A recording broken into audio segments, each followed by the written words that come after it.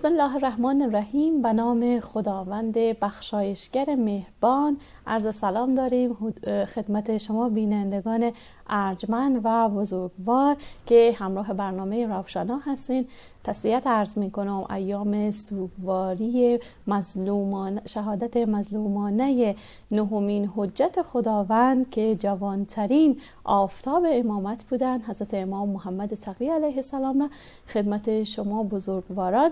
امروز از طریق برنامه روشنا در خدمت شما هستیم و به همین مناسبت راجع به موضوع جوان و الگوگیری از سیره زندگی امام جواد علیه السلام با شما بحث و گفتگو خواهیم کرد. کارشناس محترم برنامه خانم بیانی با ما هستند و همراهی شما را هم خواهانیم. سلام خانم بیانی بزرگوار خوش آمدین با برنامه.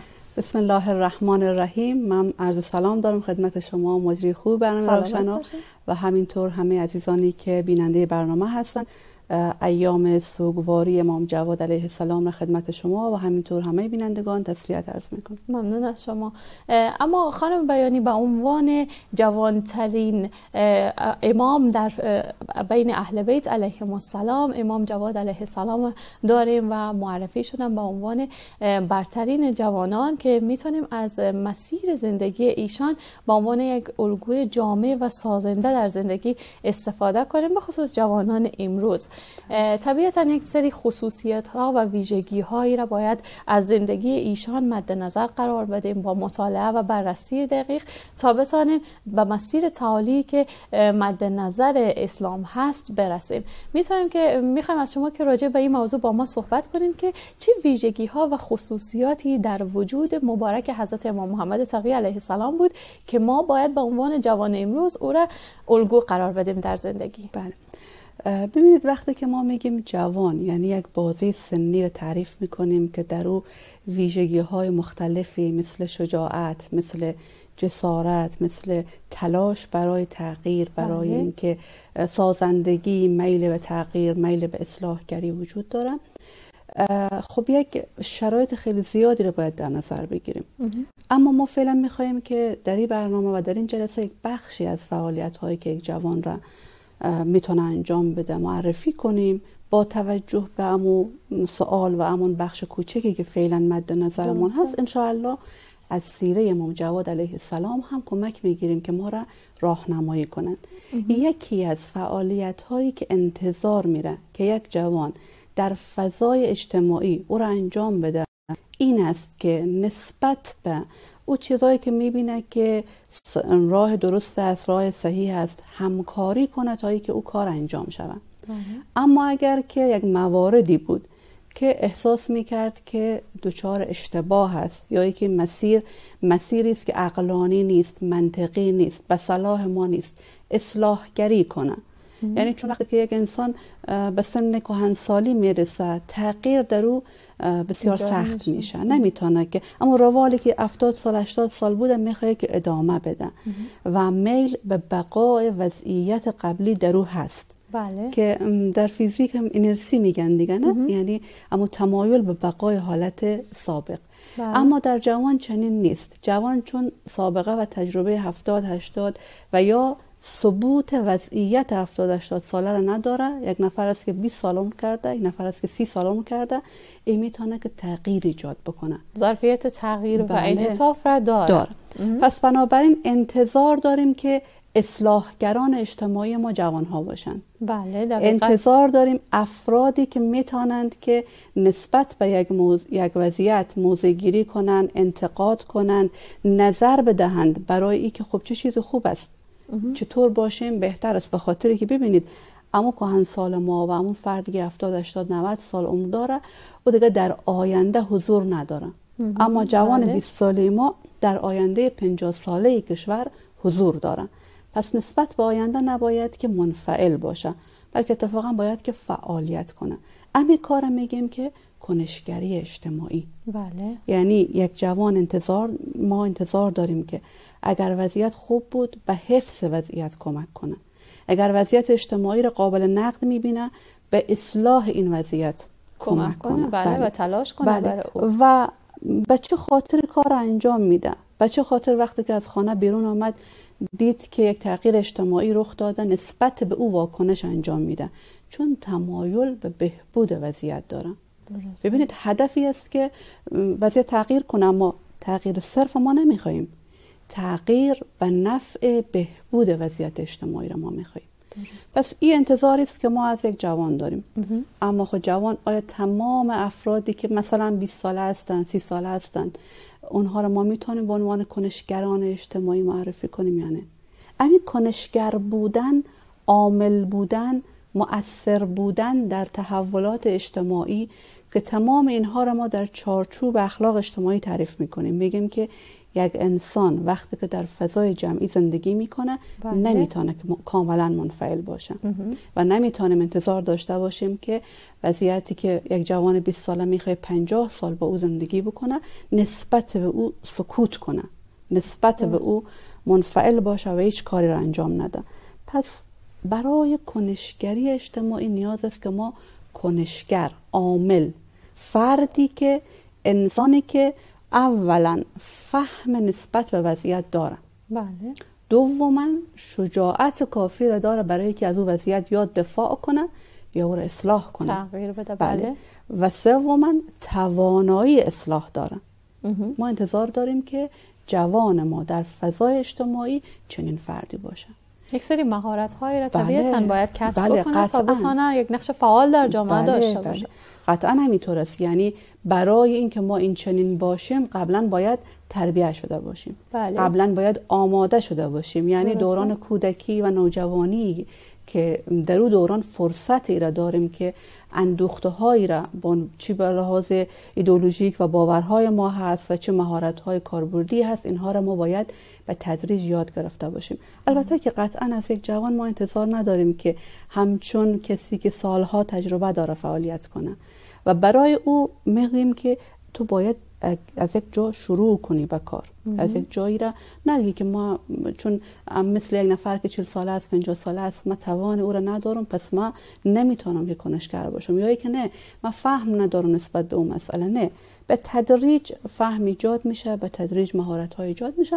اما از اینکه ما نسبت به دیگری احساس مسئولیت بکنیم نقطه کلیدی کنشگری اجتماعی همی است بله. که ما باید بتوانیم نسبت به دیگران اگر جای ما خوب است بله.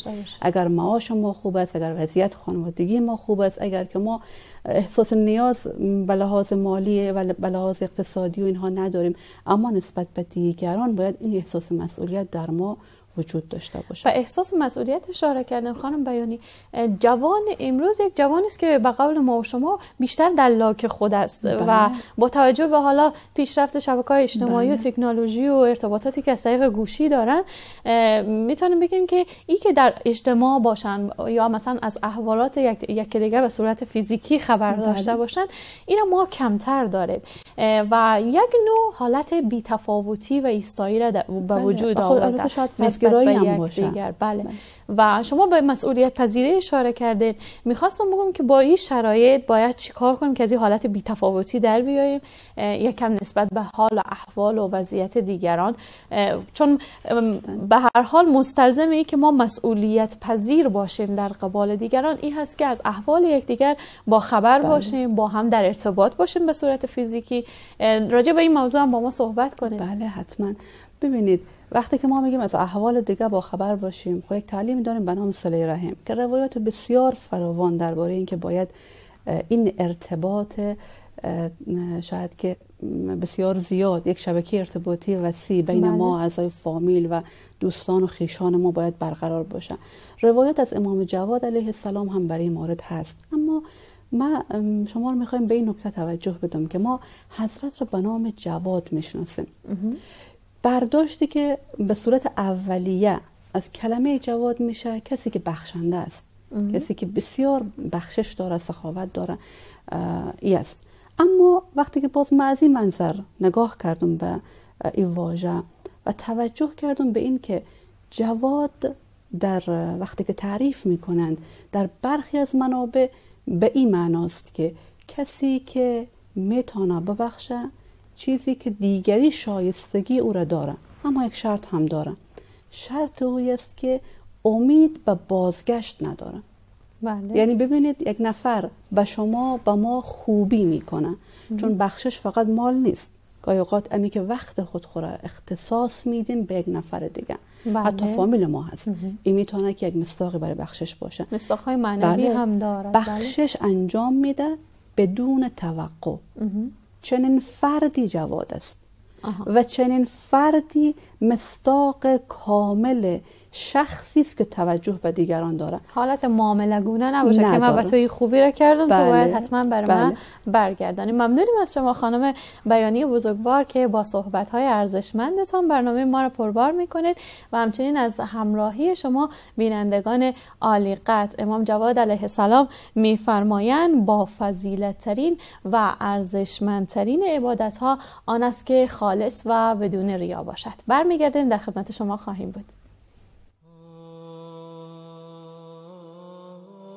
در حقیقت رنگ غم تغییر کرد آخرین انگور هم تغییر کرد. در میان چشم انگور سیاه جای آب و جای سم تغییر کرد. در زد آقا از صدای در زدن زود رنگ متهم تغییر کرد. پس بر روی زن نیاورد و نشست. این چنین نوع کرم تغییر کرد.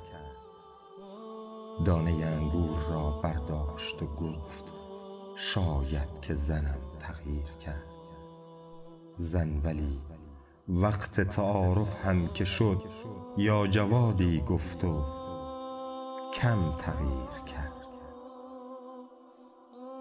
دم که پایین رفت آقا خوب بود. دم که پایین رفت آقا خوب بود حال او در بازدم تغییر کرد. چون حسن مثل حسین و مثل خیش حالتش در هر قدم تغییر کرد. پس غریبی در وطن تکرار شد شم بودن سوختن تکرار شد. یک حسین تشنه در هنگام زهر. بعد از آن صدها حسن تکرار شد. چون که مثل توس در بغداد هم زهر و انگور و دهن تکرار شد. پس غریب بی کفن در دشت نه پس غریب با کفن تکرار شد. با دهان و با گلو و با جگر یک نبرد تن به تن تکرار شد. اربن اربا نه ولی سرخ و کبود. ماه زیر پیرهن تکرار شد. با چه توجیهی مداد از هم نریخت؟ هر قدر توضیح داد از هم نریخت. با وجودی که گذشت از جسم تو از چه خاک و ابر و باد از هم نریخت. باورش سخت است که با حرز تو آیه آیه ان یکاد از هم نریخت.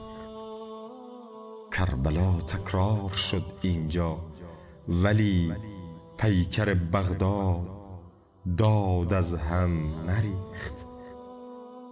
در قیاس اکبر و فرزند تو لااقل جسم جواد از هم نریخت. کربلا در کوچه و در توس بود. با جواد این امتداد از هم نریخت. شکر که پیراهنش بر پیکرش هر قدر هم شد گشاد. از هم نریخت. اربن اربا گشت آقا از درون از برون شاید زیاد از هم نریخت. سخت بر هم ریخت در مشهد رضا. سخت بر هم ریخت در مشهد رضا با وجودی که جواد از هم نریخت. صلی الله علیک یا مولای یا جواد الائمه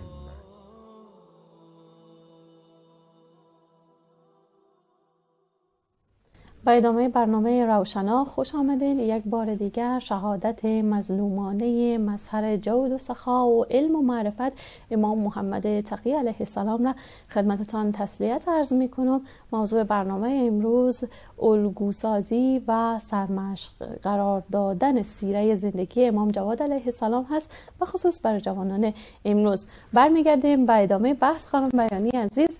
راجع به ویژگی های اخلاقی امام جواد صحبت می‌کردیم. بفرمایید میشنویم. بله. گفتیم که توجه به یک نفر دیگه بله. که دیگری می‌تونه یک انسان باشه می‌تونه که هر مخلوق دیگه خداوند غیر از خود ما باشه این نقطه آغاز اون احساس مسئولیتی است که شما گفتید بله. امین که ما بتونیم نسبت دیگری را ببینیم. اولا باید او را ببینیم. باید برای او اموری که شایسته او هست را حق او بدانیم. بله. حق یک انسان بدانیم که از نعمتهای خدا بهره بگیره. حق یک انسان بدانیم که آموزش ببینه. حق یک نفر بدانیم که در اجتماع بتانه که عرفی که به گمان او صحیح است. وارد گفتمان بسازه و درباره او گفتگو کنیم بر طبق او حتی کاری را انجام بدیم. بله.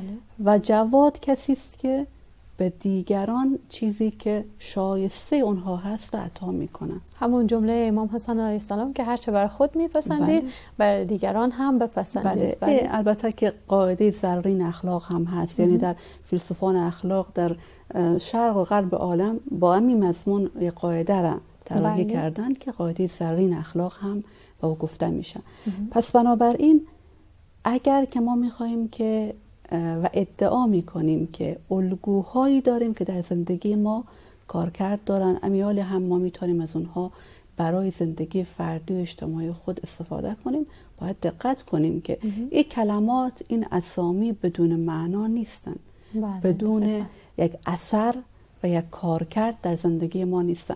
پس اگر که ما به این نکته توجه کنیم که توجه به دیگری به نحو کامل در جوانترین رهبر در فردی که وقتی که به شهادت می‌رسن بین 25 26 27 امی سن و سال جوانی هستند و خواهی انتظار ما ای است که یک نفر وقتی که در این سن و سال هست یعنی به لحاظ طبیعی میگیم که هنوز در آغاز راه هست بله. و وقتی در آغاز راه زندگی انسانهای عادی یک نفر در اوج است می‌تونه که یک الگوی کامل هم برای ما باشه.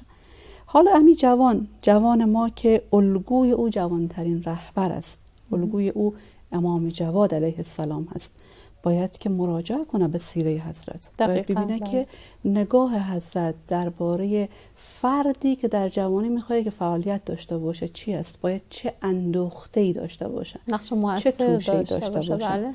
تا بتونه نقش موثر داشته باشه. تا بتونه که همون کنشگری که گفتیم بله. کنشگر اجتماعی باشه. حضرت میفرمایند که روایت بسیار روایت زیبا و البته خب دقیقی هم هست وقتی که توجه می‌کنیم. یک نفر به حضرت میگه که مرا یک پند بده. حضرت میگه که تو واقعا گوش می‌کنی به پند من. اون نفر میگه که بله یا ما من گوش می‌کنم. حضرت میفرمایند که صبر داشته باش. صبر تلخ است. وقتی که بعد بیا عرب مراجعه می‌کنیم صبر میگن یک گیاهی است که از تلخی خورده نمیشه. بله. صبر پس بنابراین صبر داشتن و صبور بودن کار آسانی نیست. اما حضرت میفرمایند تو باید دیویشگی را داشته باشی. دوم خیلی خیلی بحث دقیقی است به خاطر اینکه گاهی اوقات ما راه گم می‌کنیم. حضرت میفرمایند فقر را به آغوش بگیر. یعنی چی؟ نترس. از اینکه تو فقیر باشی. بله. چرا؟ چون همون جایی و همون نقطه ای که تو نسبت به او ترس داشتی می‌تونه عزت تو رو به عنوان یک جوان زیر سوال ببره. منظور همون فقر مادی بله است یا بله فقر مادی. یعنی تو به عنوان یک جوان نباید به ترسی از اینکه نداری. مثلا میگن ما می‌خواهیم که فرض کنید در کابل در بخش های مختلف کابل نیاز به یک خدمت اجتماعی است. میگه از که تو نداری نترس. کار خوره به پیش ببر. انجام بده. می‌خوایم مثلا فرض کنید میگه که من می‌خوایم که برای ده دانش آموز خدمات ارائه کن برای یک دانش آموز خدمات ارائه کن یا کمتر یا بیشتر. این را باید توجه کنی که از این که تو چیزی در جیب خود نداری از این که شاید ساختمان نداشته باشی شاید که منبع مالی نداشته باشی نباید که بترسی. چون همون جایی که تو ترسیدی این ترس ممکنه که باعث ای شود که خب به دنبال ای باشی که از منابعی که باز در اخلاق ما در فقه ما نسبت به اونها ما رو هشدار دادن ما وارد اون مقاله ها بشیم. مسئله دیگه یه که شهوت را رها کن. هوس و او چیزی که شاید خوشایند اولیه یک انسان باشه او را رها کن. و از همه مهمتر تو انسان صبوری که در پی عزت خود هستی. از اینکه فقر مالی داری حراس نداری. تو باید بدانی که همواره در دید خدا هستی. خدا تو را به عنوان یک فردی که نسبت به دیگران احساس مسئولیت داری به عنوان فردی که جواد الائمه را به عنوان الگوی خود میدانه می‌خوای کار انجام بدی. اگر چنین باشه خدا هم تو را می‌بینه. با توجه به روایتی که خان بیانی بزرگوار متذکر شدین و این روایت خواندین اگر بشه که مشخصا این روایت در قسمت برجستگی های اخلاقی خود امام جواد علیه بله. السلام بر بینندگان عزیز ما بگین تا بیشتر برشان واضح بشه. ممنون میشم. بله حتما حتما چنین و درباره صحبت خواهیم کرد. حضرت شرایط حضرت ما باید نگاه کنیم ببینیم که در چه شرایطی حضرت حضور دارن و رشد کردن. اما طور که ما می‌بینیم تاریخ نگاه می‌کنیم ایشان میگن که یکی از ویژگی هایی که شاید برشان تحمیل هم قطعا شده ای است که داماد یکی از خلفا هستند. یعنی خلیفه ایشان را حالا به هر علتی شاید علت سیاسی باشه شاید علت اجتماعی باشه همچنان که حضرت امام رضا علیه السلام هم ولی عهد بودند یعنی یک نسبتی با خلفا با حکما با افرادی که حاکمیت را در جامعه داشتن این, این نسبت را پیدا کرده بودن. بله. حالا به هر علتی که ممکن است که برای یک نفر شاید که علت های مختلفی از زوایای دید مختلفی ناخواسته ما... بله ممکن است بله. که ایجاد شده باشه. حضرت را میگن. خب ببینید این شرایطی که ناخواسته هست وقتی که ما و شما در یک شرایط ناخواسته قرار می‌گیریم چه کاری انجام میدیم؟ اولین عکس عملی که یک انسان شاید که از خود نشان بده انکار وضعیت است. دست و پا زدن در او وضعیت است. بله. یا نپذیرفتن او وضعیت است. اما حضرت او وضعیت را با توجه به شرایطی که مسلمان ها و شیعیان دارند میپذیرند. در او قرار می‌گیرند. مصلحت عموم جامعه بله، در نظر بله. گرفتن پس و با صبوری همون بله. ویژگی که گفتیم در اولین که ما گفتیم شما می‌تونید که در همین وضعیت ببینید. ما در تاریخ مخالفت با حاکمان مخالفت با آراء اونها را در مناظرات مختلفی که حضرت انجام میدن همچنان که این مناظرات ادامه مناظراتی است که در دوران امام رضا علیه السلام انجام میشه. در بله. دوران عالم آل محمد. و یک توقع خیلی عجیب و خیلی شاید بتونم بگم یک مقام بسیار بالا و بلند مرتبه برای امام شیعیان در دوره امام رضا علیه السلام ایجاد میشه به عنوان عالم آل محمد و مناصرات زیادی هم شکل می‌گیره. امام جواد که در سن بسیار کم قرار است جانشین چنین فردی باشند. امی امام جواد ما که در سن کم است دیگران شاید مقایسه کنن چون باوری که ما و شما نسبت به ائمه داریم شاید دیگران نداشته باشن. در فضای فرهنگی که کاملا متکثر است. از ادیان مختلف حضور دارند از گروه های مختلف.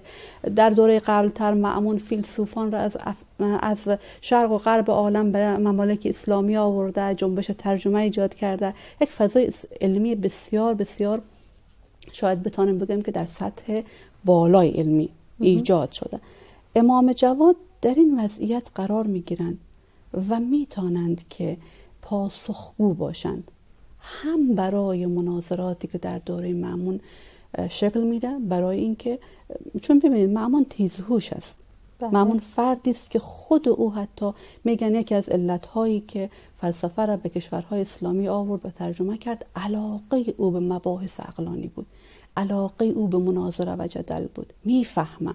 که منفعت او چی است؟ گپ دیگر است اما ای که خود او هم فهم به حقیقت و به واقع داره گپ دیگر. پس معمون مناظراتی را شکل میده تا دیگران تا ما و شما به عنوان ناظر مقایسه کنیم. بگوییم که امی نفری که جوان است آیا می‌تونه که جایگاه علمی امام قبلی را داشته باشه یا نه؟ بله. شما که ادعا می‌کنید که امام شماست. و حضرت در مناظرات مختلف می‌تونن که پاسخ بدن. و نه فقط در مناظرات چون مناظره فن است. یعنی افرادی که او فن نیاد می‌گیرن می‌تونن که پیروز مناظرات باشن. اما در در سوالاتی که مردم عادی از حضرت می‌پرسند نقل است که در یک مجلس بیش از 100 سوال پرسیده شده یا ای که در مجالس مختلف وقتی که مجموع اونها را جمع می‌کنن از هزار سوال بیشتر میشه. حضرت می‌تونن که پاسخگو باشن. جالب است که بدانیم که کنشگری اجتماعی یعنی اما حفظ تعادلی که مبتنی بر اخلاق بر انصاف بر تعقل است در دو هیته می‌تونه که بروز پیدا بکنه. گاهی اوقات در مقابل حاکمان. بله. گاهی اوقات هم در برابر مردم. درست است. آگاهی دادن به مردم کار یک کنشگر و یک فعال اجتماعی است. و حضرت شما در تاریخ وقتی که نگاه می‌کنید هر جایی که سوالی پرسیده شده باشه سوالات بسیار مختلف متفاوت. که شاید حتی ما و شما که کتاب ها امیالی در دسترس ما هست بله. نسبت به پاسخ اون سوال ها آگاهی و اطلاع نداشته باشیم. اما حضرت می‌تونن که پاسخ باشن. و این ویژگی را باز زمیمه کنیم که سنی که حضرت دارن بسیار کم است. بله. یعنی در زمان شهادت بیست و چند ساله هستند. و در زمان امامت نزدیک ده سال یا کمتر یا بیشتر یک نوجوان هستند. بله ممنون از شما خانم بیانی بزرگوار. و همچنین با شما دوستان عزیز همراه هستیم. همراه ما باشین. بعد از وقفه با شما خواهیم بود. هم آسمان قصیده ای از بیکرانیش هم بیکرانه ها غزل آسمانیش. ای ها کمال سر کوچه باغ اوست.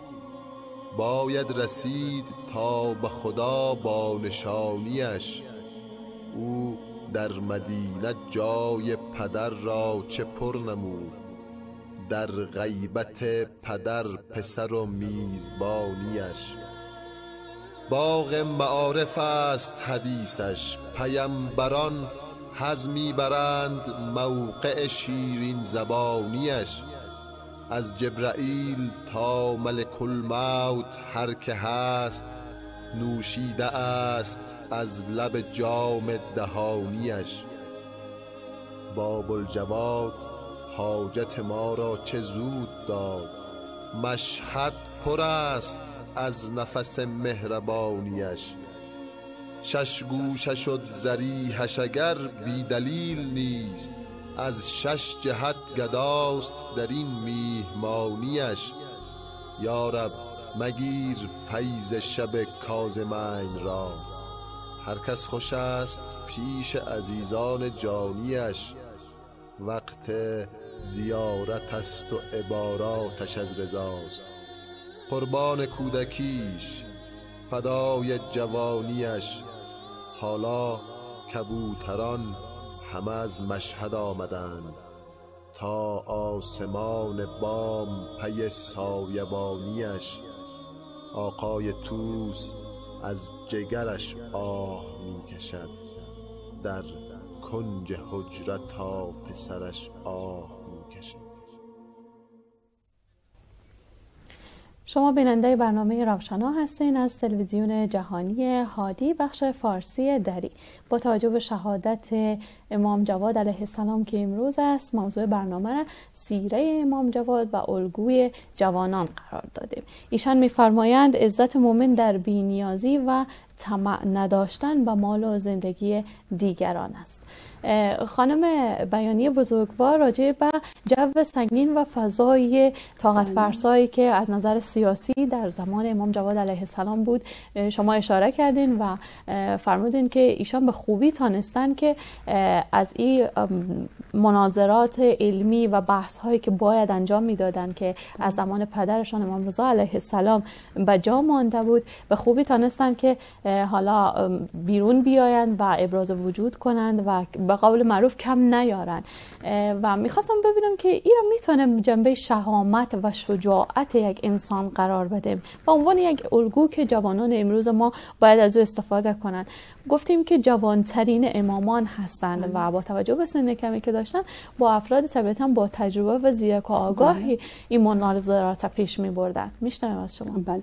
ببینید قطعا قرار گرفتن در وضعیت سخت و سربلند بودن در این وضعیت سخت احتیاج به یک شجاعت درونی بله. یک نیروی فردی قابل توجه دارن. اعتماد به نفس بله وگرنه یک نفر نمی‌تونه که امی وضعیت را ما شما تجسم کنیم دیگه. حالا مناظرات عظیمی که در دربار خلفا انجام می شده نه هم یک پرسش و پاسخ عادی که ساده بله, بله. وقتی می‌خوایم بریم یک وظیفه را بگیریم میگن مصاحبه داریم چقدر استرس و تشویش بله. و حالا اعتماد بله. سر اعتماد به نفس و اینا کار بله. می‌کنیم بله.